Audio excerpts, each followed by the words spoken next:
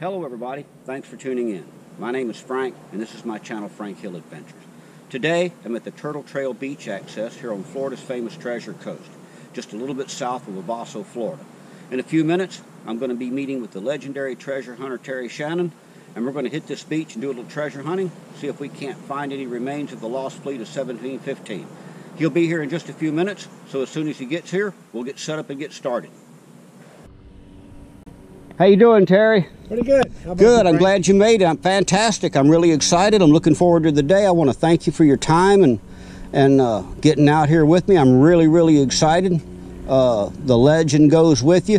Tell me, uh, now I know that this is the Corrigan's wreck site. Yeah, they call And I know that the survivors camp is just a little bit south of us.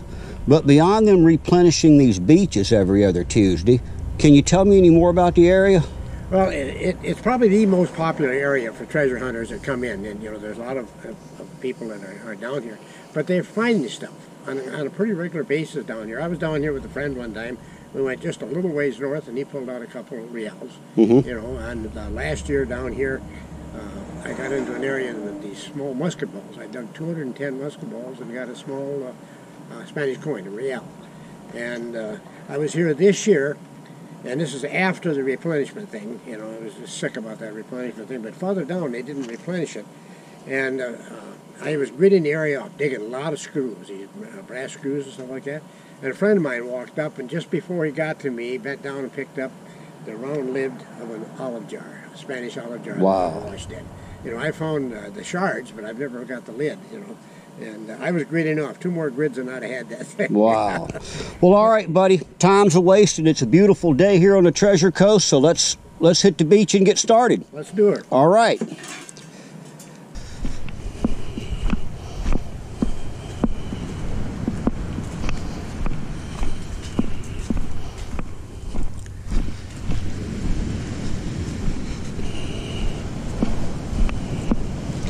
There's a buoy out right out front here. Uh huh. see this buoy, and I thought, boy, that's got to be neat. You know, it's, somebody had to put that buoy out there. Mm Talked to one of the divers, and he said he has no idea what that hmm. Huh. I was going to swim out there and take a look, you know, and, and uh, Puppy.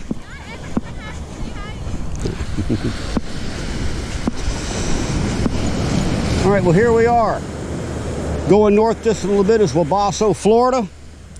And here to the south, just down by that flagpole and a little further south of that, is the survivors camp, is it not? yes, it is right around the point there. Right? Right?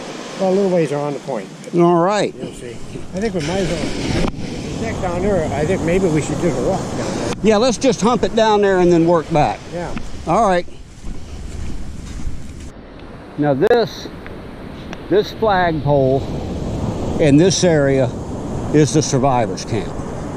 How far down or north does that go? I I didn't realize the survivor camp was this far up. I thought it was around the bend there. That's what my impression is. See, there's another flagpole, or was another flagpole around this point. Okay, You know, and so I believe that's where this at. Uh, Okay. camp is. And uh, and right where we're walking now, there's just a long row of sandbags. And when those sandbags are exposed, you know, everybody gets excited and they're down here swinging away. And. I believe it's, you know, that's. I could be wrong. I don't know everything. well, I want to agree because I've been down to where the sandbags get exposed. Okay, right where, where the end of the sandbags get exposed there, you know, if you go probably another 50 yards, that's where I was getting all those musket balls, Okay, you know. And uh, well, that's amazing because I've been right there at low tide when those bags were exposed, hunted all day, and didn't find squat. it's amazing on those musket balls. You know, everybody, there was a bunch of people digging them. Everybody got a bunch of them. And I even talked to a guy that got three or four cannonballs, Oh, wow. you know, and uh, that was just this year. Oh, okay. But uh, the musket balls are really deep. I never got, you know, a clear signal. It would be just, you know, it, it, a little hiccup on the detector, I dig it up. And if I got a musket ball, I take a couple more scoops, and often one time I got five of them out of one hole. Wow. But they're just small. I got bigger ones later at the edge of the water. You know, I don't know if it's a grape shot or a pistol, but what, what Well, you can't win if you don't play. Exactly. and it looks like a good day to do it. Like I said, my friend, I'm excited. I'm excited. And I'm honored. So maybe we'll get lucky and we'll make news. Every, every uh, good find I ever found was a total surprise. There you go. Well, all right. We'll hump it down here until you say stop, and then we'll see what happens. Yeah, you see where that bay comes in right there. Uh huh. Okay. Because I was camped before that. Okay. That might be a good area. That doesn't look that bad. All right. Well, that's what we'll do then, because you can see where the sand stops. Yeah. All right. Okay, so we've made it down to the second flagpole. So you're saying that this is what you recollect is the actual survivors camp? I believe it is. That's that's what I've been told. Uh, and this is the area where I found all the musket balls and I found the, the Spanish coin. And, you know, so this has been a hot area from here on down. You know, uh, and Well, that cut, I'm looking at that cut right around there after the sand. I hate to tell you this, but I'm kind of excited. I think we can do something. Look at the cut here. Yeah, I see that. See, the problem with these types of cut here is it's it's cut to new replenishment. Right, And it's brought that sand out here to cover right. I've told people that before. You know, normally you'd want to be right up against that, but people don't seem to realize a lot that that's fresh dirt. There's nothing there. Yeah. So all you're doing is is hunting the edge of nothing. It's not till we get down there where the sand stops that we're going to be getting into the goodies. Well, all right. Everything looks different. You know, there was an area right in here that, you know, there was a lot of frequency of, you know, uh, it would uh, screw up your detector. And you got just past that. Mm-hmm. That very staircase. And that's from there, about 100 yards down this street. That's where all the musket balls are. Excellent. And I run into a guy here this spring, and uh, he'd never detected the treasure coast. And it was all washed out pretty good. They hadn't replenished it yet. And I said, here's where the musket are. I said, work this area. And he got one. And uh, we were at a hunt, and he was over there, and he come over and thanked me. He said, you know, that you know, that was a dream to find something. And he did. You know, and that's kind of neat, you know. It's I, like I said, I sold the farm and moved here just to do this. Yep. I, I, this is it. To me, this is paradise on earth. You know, people don't realize it, but Indian River County is absolutely undiscovered country. We're, we're uh, walking over treasure right now. Oh, absolutely. Anywhere you stand out here, you're probably not more than 50 feet from a relic or a coin. I, I agree. I agree. You know, unfortunately, a lot of it is straight down. Straight down. it wasn't 50 feet, but uh, Right up by the inlet, I found an anchor shackle probably about as big as my detector head. It's not that old. It's probably, you know, late 1800s or something, but still, it's an it's a cool thing. And it was about 18 or 19 inches down. I found it with my Sea Hunter Mark II. Up in a, up on like an edge of a, like this, but it wasn't replenished. I, I, I bought this. Up, I was up north um, detecting, and I got into an area, and it was about mid-beach, and it just loaded with coins. And, you know, I hit it all day. I had to leave early at 3 o'clock because we're going out to uh, supper. And I go back the next day, and, and the tide was going, you know, the, the moon, the full moon was over, and the tide is receding more every day, see. So I had about a week window to detect that area. And I got two uh, Carlos and Johanna Spanish reals. Wow. The one, we can date the one by the assay on here, mm -hmm. 1544. Wow. To my knowledge, right now, I think that's the oldest coin ever found on the treasure. Cool. And I went back the third day, and got some more stuff. And then I bought that Sea Hunter because it was too late by the time I got the Sea Hunter. But when you hit an area like that, really rich in targets, you know, after you clean it out, it'd be nice to go in with a pulse machine. Because there's got to be stuff a little bit deep. Got to be deep. And I bought the big coil for it, the great big one. Now, The I- great big one. It's it, it's great for trying to use it in the water to be useless because it's huge. But on land like this, it's really great. You put fresh batteries in that sucker and put that big coil on it. It's the deepest machine I've, I've ever seen. I, I got the regular coil, I got the big one, and I borrowed it out to a guy up in Minnesota, and I didn't get the small coil back. Oh. It says he doesn't have it, and uh, and he may not. You know, he's a good guy, Yeah. but I have, you know, Oh the big coil. With me, I can't swing it. It- Yeah, it's I it's it's kind of heavy. Well, now I got the little bag too. The little the little pouch that it mounts on your belt. And let me tell you what, that takes a great deal of weight off your arm. Yeah, Well, I've got I've got one of these swingy things, you know, Mm-hmm. and I've had like five surgeries on my arm. So, Ooh. well, three on one and two on the other. Well, that cut doesn't look as good as it did down. It don't, yeah, but it's it's better than. better than it Well, you know what? I'm going to tell you what, Terry. Here we are. Here we are. We have nothing but today. It, uh, I playing cards with some people one time and, and, uh, down here, and they were snowbirds like myself. And they said, you know, he was telling me the percentage of people was like one or two percent that can do what we do. You know, it, it uh, you know, a lot of us by choice, they don't have an adventurous soul. But, but what we're doing is exciting. It's exciting. I love it. Like I said, that I artifact and you got it in your hand. You know, you're the first person to touch it for at least 300 years. well, I sold my retirement for this, buddy. So this is where it's got to happen. Okay, so here we are. The flagpole we passed is just a little bit to the south, to the north of us now, actually. So we're going to work south from here, Yeah, I work south of there. See where them two people are? right? Beyond that, there's another bay called John's Island. I just think we can work from here down there, and work back, and All right. For some luck. All right, so we're going to get started, and I'll get back to you on the first target.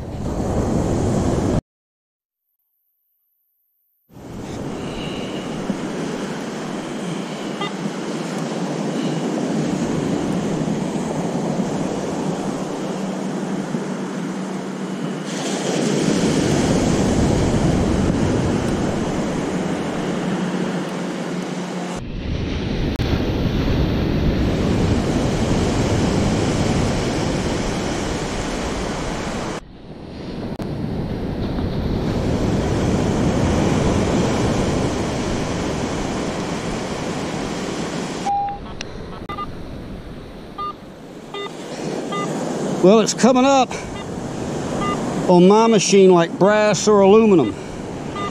So I don't know. Right in there.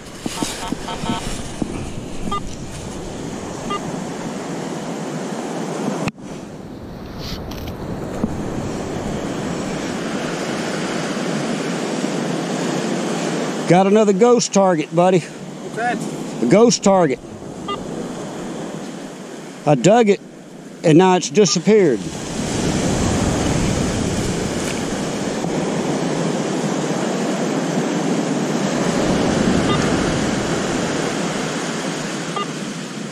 Hit it with yours and see if you can get get a ping on that.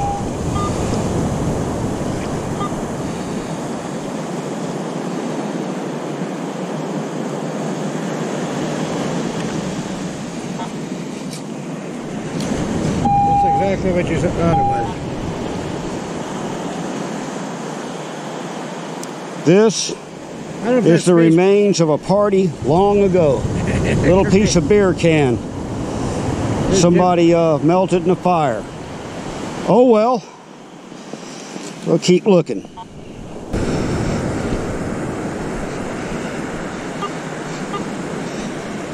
no, Frank. How you doing? Jim is the guy that goes through my books and corrects all the spelling. How you doing? Good to meet you. Frank Hill. So he, uh, Proofreader, huh? yeah, he, he spends weeks. Well, you know they got spell check on your computer now. I know that. I have to do the same thing. I write late at night, done had a few drinks, man. I'll wake up the next day and it's like, oh my God. Beautiful. It's great today, huh? I uh, got the ebook. download. I saw that. I didn't know you were having trouble. I know. Did you have more trouble than what you called me about? Oh yeah. Let me See see what, what. what happened when you know, I, I, we got it down to a PDF, Right. and it wouldn't take a PDF. It had to be a JPEG. And so Dave, you know, Wait a minute. Wait. JPEG's a picture. well, it said it had to be a JPEG. So Just the Dave- cover, not the whole book. Yeah, just yeah, the book. I got that downloaded right away. That one, that one was in. Once we got it in the PDF, and then uh, it had to be the picture had to be a JPEG. Right. And then I'm downloading it up, comes said that you had to have color. It had to be. Uh, Terry, next time call me. Come over your house. Let's do it. Seriously, it took three days. I, when you said I get, I get embarrassed calling you. all What? No, no, we might as well just do it and get it done. Instead of spending three days. Well, I didn't spend three whole days. I, I worked on it until I got mad. And, I think- Well, and the time if when I get mad, we're getting shorter and shorter. Yeah. just Yeah. call me next time. Because I didn't. I thought we were all done. I go, oh, okay, perfect. I didn't know that. And I read your email. I go, oh, yeah. Um, call me next time. Color space, yeah, color space. It had to be uh, green, red, and blue. Yeah, just call me. Next time. R- RGB, yeah, green, red, and Yeah, RGB. And of course, and I didn't know what that meant. so I went over to Dave. I said, "You know what that means?" Oh yeah. It's a different kind of fun. You know how to roll? You went right past that bowl there. Huh? There's a little bowl there.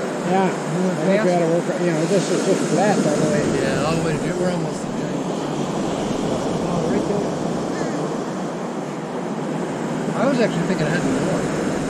Actually, going up to Secret. Say before you take off and get, like, can you take a picture of me and Frank? I want get one of these. Eh? All right, just dug for a couple minutes and came up with a little another piece of iron. Pretty cool looking piece though. No telling what it was, but it's still cool. We'll keep going.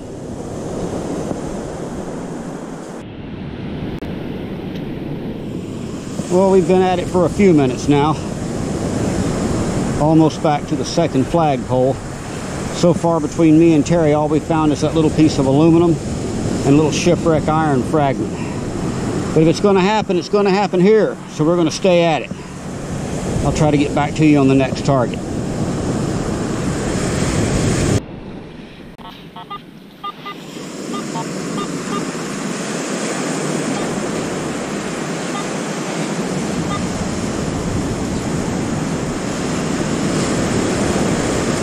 I gotta get my pinpointer out here.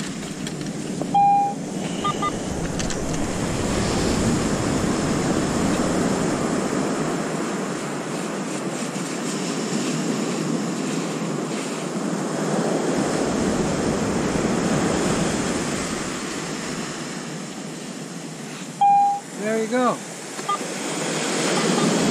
Gave off a big signal for such a fool.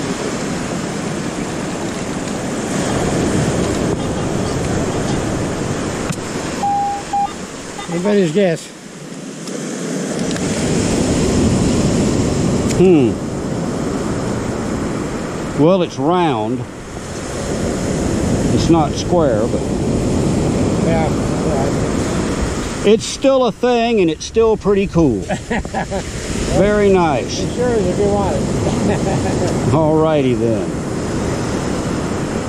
But that's what it's all about. It looks like it's been out there for a day or two. I still pace myself real with it because I'm usually in the water. so- Take a helmet. All right, I like that scoop. on to the next. That's the extreme, right?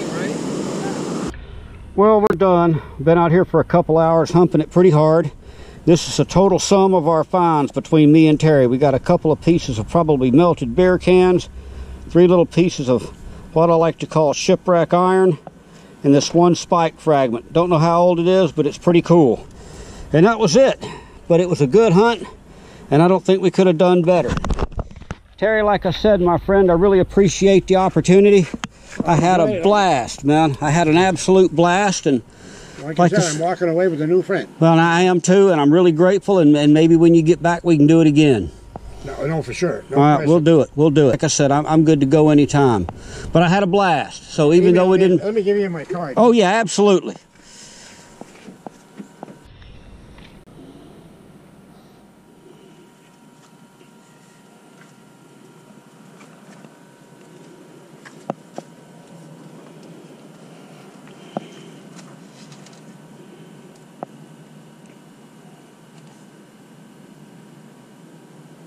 That's great. I really appreciate that.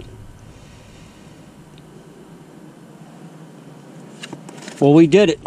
Like I said, I'm grateful.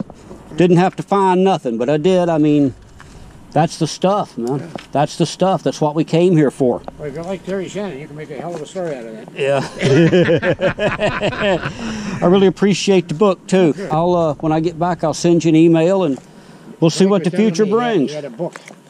He had a picture of the whistle that they, uh, from ship. Anyway, that's what inspired him to come over here. And he said he'd like to find that book. I said, I think I got it. Mm. And if I have, I'm Yeah, I was I was about I was in the seventh grade.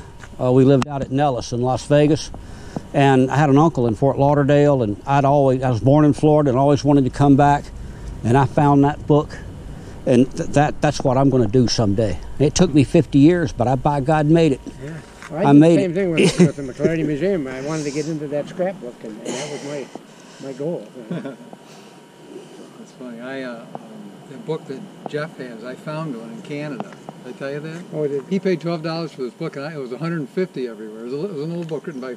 yeah, Frank- I, I went home. I, I got the book. Well, I found it in Canada, but I, it's supposed to be delivered at my house up north. So, I, matter of fact, I should check. it. I don't know where it is. What did, is. what did you have to pay for it then? Uh, with, in Canadian, it was twelve dollars Canadian, so like ten bucks, Oh, okay. and that's including shipping. Yeah, I, I had it. You know, and It's a good book, yeah. really good book.